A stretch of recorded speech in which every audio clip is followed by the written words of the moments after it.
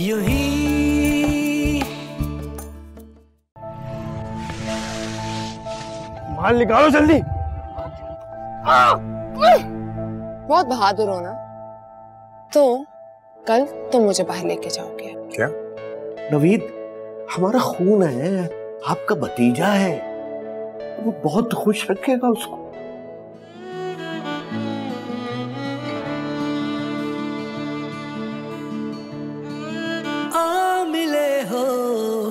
You hear